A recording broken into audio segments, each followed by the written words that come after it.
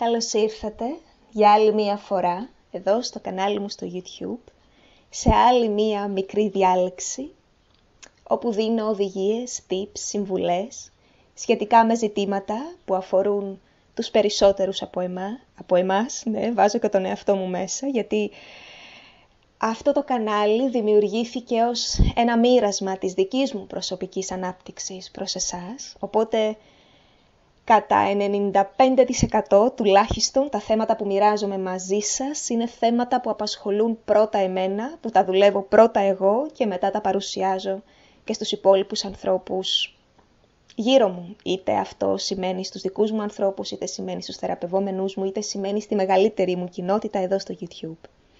Σήμερα θα ασχοληθούμε με την επιτυχία και το πώς μπορούμε να μάθουμε μέσα από τα λάθη μας. Μάθε από τα λάθη σου γιατί δεν μπορούμε να περιμένουμε πως θα κατακτήσουμε την επιτυχία με την πρώτη, σωστά. Θα υπάρξουν πολλά λάθη στην πορεία, οπότε χρειάζεται να εκπαιδεύσουμε τον εαυτό μας σε αυτό το μηχανισμό του πώς να μαθαίνω από τα λάθη μου, έτσι ώστε να μην παρετούμε και να συνεχίζω το δρόμο μου προς την επιτυχία, αλλά να συνεχίζω σε αυτό το δρόμο και με σωστό τρόπο. Το να μην μαθαίνω από τα λάθη μου σημαίνει πως παρότι δεν παρετούμε από τους στόχους μου, συνεχίζω με λανθασμένο τρόπο. Και εμείς θέλουμε να μάθουμε από τα λάθη μας έτσι ώστε να κινηθούμε με τρόπο που να καταφέρουμε τελικά την επίτευξη των στόχων μας. Σημαντικό κομμάτι στο θέμα της επιτυχίας, στο θέμα γενικότερα της πετυχημένης ζωής ή της επίτευξης των στόχων είναι το να μπορούμε να μαθαίνουμε από τα λάθη μας, είναι το να μπορούμε να πάρουμε ανατροφοδότηση από τις λανθασμένες μας επιλογές έτσι ώστε να αλλάζουμε κάθε φορά τη δράση μας και να κάνουμε άλλες επιλογές. Όταν βλέπουμε ότι μία επιλογή δεν δουλεύει σωστά, χρειάζεται να μαθαίνουμε από αυτό και να προχωράμε σε μία επόμενη επιλογή.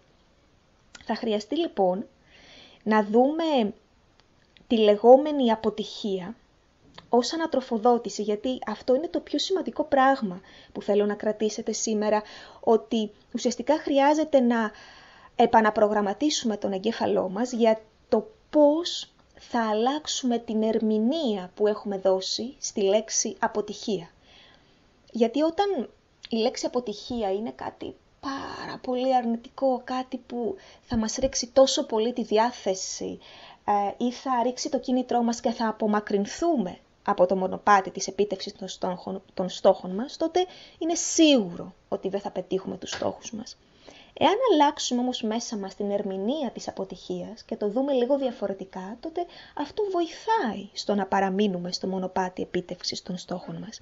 Για να δούμε λοιπόν πώς μπορεί να γίνει ο επαναπρογραμματισμός της λέξης αποτυχία.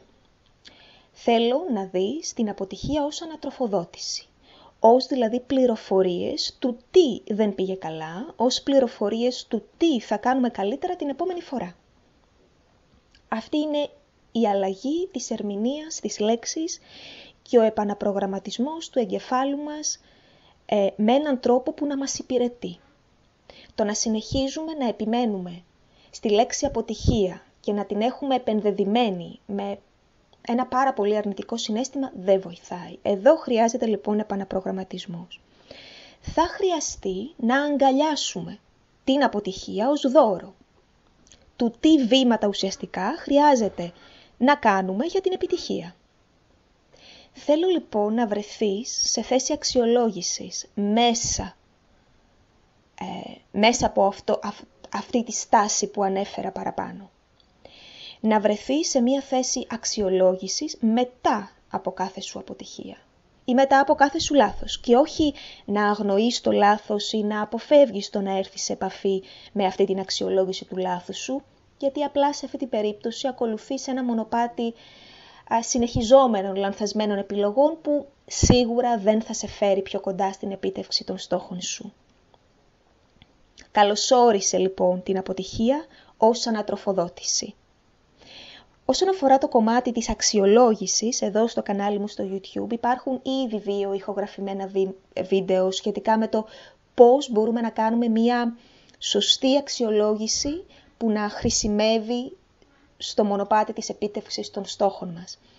Είναι αξιολογήσεις, ε, είναι βίντεο ηχογραφημένα με βήματα, με ερωτήσεις, πολύ πρακτικά, πολύ βιωματικά πώς κάνουμε την αξιολόγηση. Σε αυτό το σημείο θέλω να τονίσω επίσης, το οποίο το θεωρώ πάρα πολύ σημαντικό, πέρα από την, τον επαναπρογραμματισμό και την αλλαγή της ερμηνείας, της λέξης αποτυχίας, θέλω να τονίσω τις προσδοκίες που έχεις για το τι σημαίνει επιτυχία. Ε, θέλω δηλαδή να δεις αν για εσένα επιτυχία σημαίνει ποσότητα ή ποιότητα. Χρειάζεται να γίνει αυτός ο διαχωρισμός μέσα σου. Αν δηλαδή σε ενδιαφέρει να παράξεις πολλά ή λίγα αλλά ποιοτικά. Αυτός ο διαχωρισμός θα σε βοηθήσει να αξιολογήσεις το τελικό αποτέλεσμα πιο σωστά. Γιατί ξεκινά από το τι είναι πραγματικά σημαντικό για εσένα. Αν δηλαδή για εσένα σημαντική είναι η ποσότητα, τότε το να πετύχεις την ποσότητα είναι επιτυχία για εσένα. Αν για εσένα προτεραιότητά σου είναι η ποιότητα, τότε δεν θα μείνεις ευχαριστημένη ή ευχαριστημένος με την ποσότητα, αλλά επιτυχία για εσένα θα είναι η ποιότητα. Εδώ τώρα, και αυτό είναι το ακόμα πιο σημαντικό κομμάτι, το οποίο το συναντάω πάρα πολύ συχνά ως μπλοκάρισμα και γι' αυτό θεώρησα πολύ σημαντικό να τονίσω το θέμα προσδοκίες, η παγίδα της ποιότητας. Η παγίδα της ποιότητας είναι η τελειομανία. Το, το συναντάω πάρα πολύ συχνά. το να μην δηλαδή ευχαριστιόμαστε με τίποτα.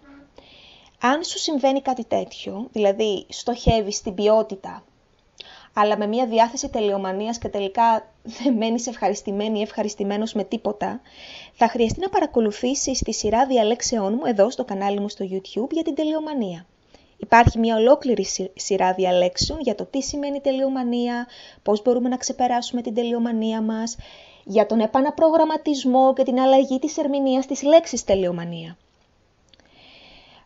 Αν πατήσεις λοιπόν στην μπάρα του YouTube πώς να αντιμετωπίσω την τελειομανία μου, θα βρεις ε, τα ανάλογα ηχογραφημένα βίντεο. Διαφορετικά πηγαίνεις στο playlist, στις λίστες αναπαραγωγής που παρουσιάζω στο κανάλι μου και θα βρεις όλη τη λίστα αναπαραγωγής.